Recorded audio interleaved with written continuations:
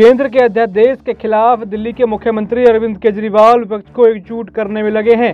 इस बीच आम आदमी पार्टी के राष्ट्रीय संयोजक केजरीवाल ने लखनऊ में समाजवादी पार्टी के अध्यक्ष और यूपी के पूर्व सीएम अखिलेश यादव से मुलाकात की। इस दौरान पंजाब के मुख्यमंत्री भगवंत मान, दिल्ली सरकार मंत्री आतिशी, भाजपा सांसद संजय सिंह और सपा नेता शिवपाल सिंह यादव भी मौजूद रहे। केजरीवाल ने मीटिंग के बाद कहा कि फरवरी में सरकार बनी और तीन महीने बाद केंद्र सरकार ने हमारी शक्तियाँ छीन ली। उन्होंने कहा कि आठ साल की लड़ाई के बाद 11 मई को सुप्रीम कोर्ट का संविधान पीठ ने फैसला दिया कि शक्तियाँ चुनी हुई सरकार के पास होनी चाहिए। लेकिन 19 मई को सरकार ने अध्यादेश लाकर कोर्ट का फैसला कैंसिल कर दिया। वहीं सपा अध्यक्ष अखिलेश यादव ने भी कड़ा तंज जो है केंद्र सरकार पर कसा।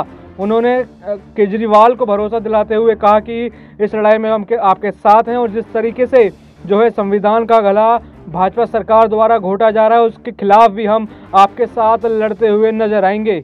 अरविंद केजरीवाल ने दावा किया कि केंद्र सरकार ने 19 मई को अध्यादेश लाने का फैसला इसलिए लिया क्योंकि इस दिन से कोर्ट में अवकाश हो गया, हम छुट्टी खत्म होते ही अदालत जाएँगे। उन्होंने आगे कहा कि अध्यादेश गिर गया तो समझिए कि ये 2024 लोकसभा चुनाव का सेमीफाइनल है। अखिलेश ने मीटिंग के बाद कहा कि यह अध्यादेश लोकतंत्र के खिलाफ है।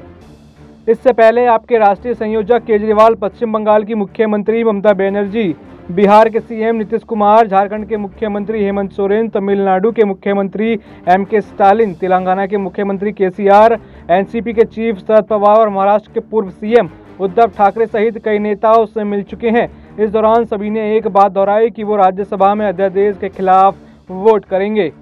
और लगातार जो है केजरीवाल विपक्ष को एकजुट करने में काफ़ी हद तक सफल हो गए हैं, मगर कांग्रेस ने अभी तक इस बात पर चुप्पी बनाई हुई है और केजरीवाल का साथ देते हुए नज़र नहीं आ रहे। लेकिन एक तरफ़ देखा जा रहा है कि केंद्र सरकार पूरी तरीके से इस अध्यादेश पर घिर चुकी है और जब भी अगला सत्र बैठेगा या सुप्रीम कोर्ट के अवकाश पूरे होंगे, उसके बाद अरविंद केजरीवाल फिर दोबारा ये मामला सुप्रीम कोर्ट में लेके जाएँगे और केंद्र सरकार को घेरते हुए वहाँ वो नज़र आएँगे।